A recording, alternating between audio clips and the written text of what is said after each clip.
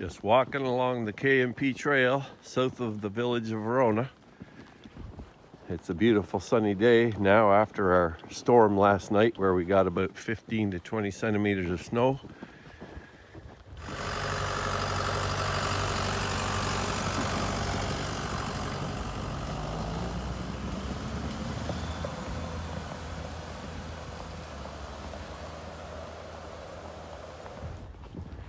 We're just walking the trail here for a relatively brief walk, maybe five or six kilometers.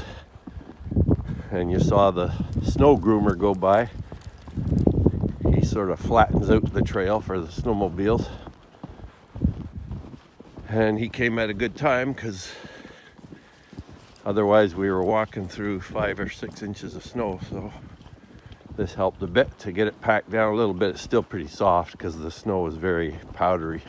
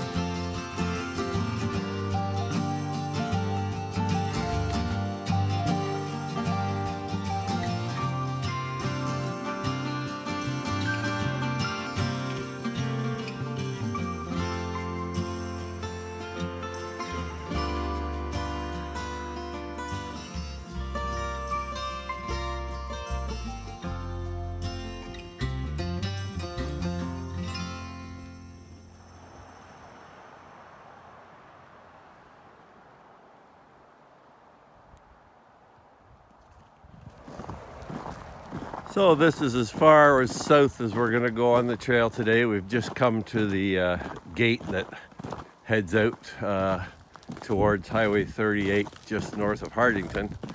We've probably come about three kilometers, three and a half kilometers perhaps. And we're gonna head back now. I think I see a bluebird up there.